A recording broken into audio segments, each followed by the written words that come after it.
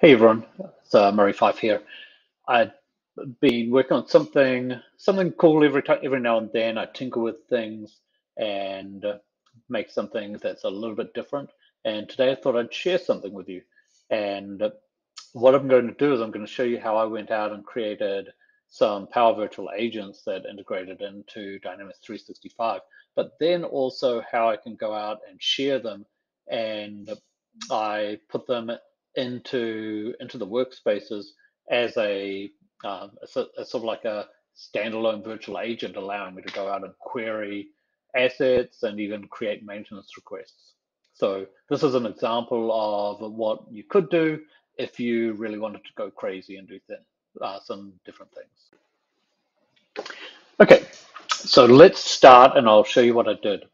So for all of you that aren't familiar with uh, Power Virtual Agents, then this is one of the Power Platform tools that you can go out and it allows you to go out and create conversational bots. And it's um, really pretty easy to do. So for example, if I wanted to create a, um, a conversation where, in this case, I'm going out and I want to know where an asset is stored, then we can have a trigger phrase and then we, we go out and we uh, send messages, and this is where I can say, hi, I'm a maintenance bot, and I can help you with that. Then I ask what is the asset that I'm looking for, and then I add a message. And then what we can do is we can go out and uh, use a Power Automate flow to go out and query information. So I've gone out and I've built this already. This goes out and gets an as the asset information. It's going through Dataverse to find that information then actually goes out and finds the functional location and it returns back the name of the asset, the location, and the location ID. And then after I've done that, then we can go out and we can return back a message. So say, for example, I, I can start a conversation. I can say, an asset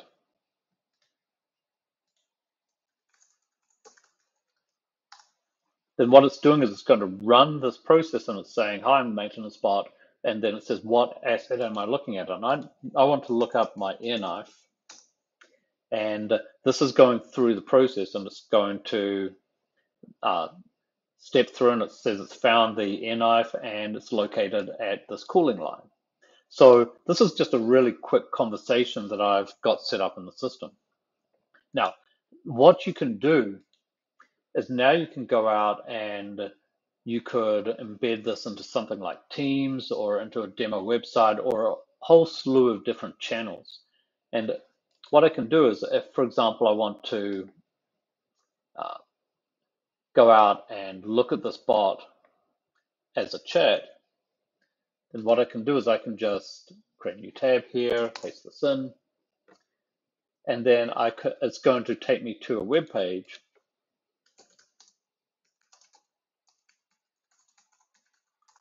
and it's going to run through the same process. So we could run this on a phone, we could do whatever we want with that.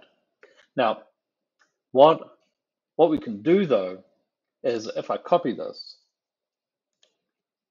then we can go in and we can add this directly into Dynamics 365 into a workspace or into a form.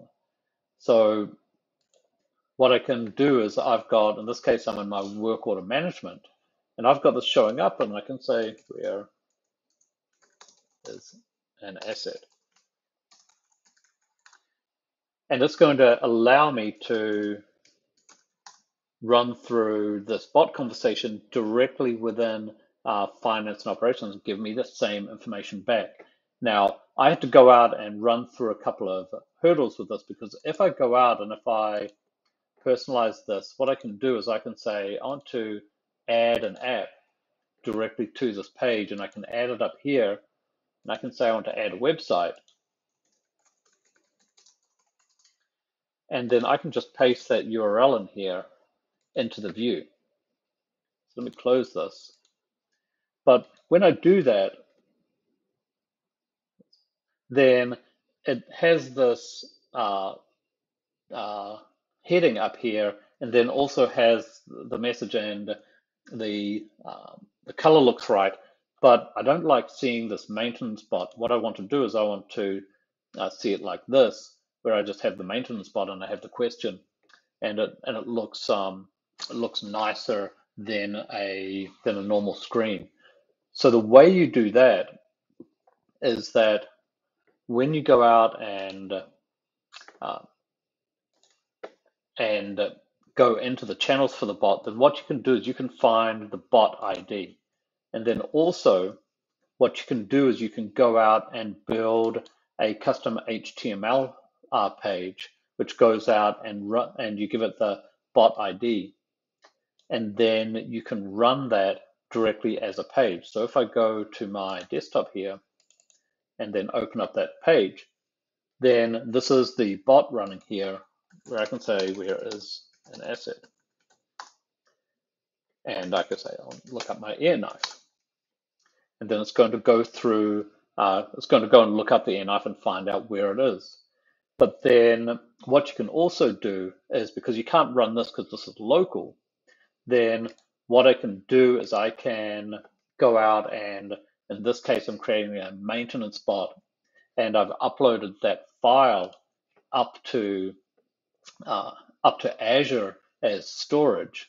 And if I copy this and paste it,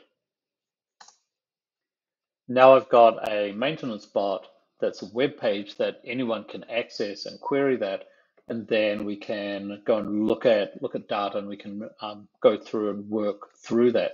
And then if I go back into uh, into the uh, my workspaces here, then I can have my, my workspace and then I can have this bot that's embedded here. I just added it in uh, using the uh, add a web page.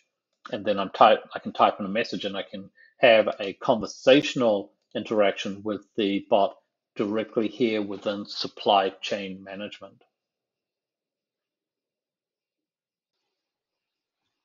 Hey everyone. So that was a quick overview of how I went out and created a Power Virtual Agent I linked it up to uh, uh, asset management within Dynamics 365 so I could run my own queries in a more conversational way rather than having to go out and uh, work through the menus. So um, a little bit of a fun way to work with the ERP rather than the traditional way that we, we manage it. Uh, this technique you could actually use in a number of different ways. It doesn't have to go into uh, Dynamics 365, it can go to really into any web application that allows you to embed frames into, into the view. So if you have any questions or comments, then make sure that you uh, post them. Uh, uh, post them on YouTube if you can. I'll try to try to respond to those. And if you like this and you really like it, then why don't you uh, click the subscribe button? And if you want to share the love, then maybe click on the not notifications button so that you can see uh, new videos as I'm going out and creating them. So uh, that that helps us uh, my channel. It's not it's not a big channel, but I'd like to grow it out, and it sort of helps the algorithm. So uh, I'll that's all I really wanted to show today and talk about. So until next time, we'll just um, catch you later.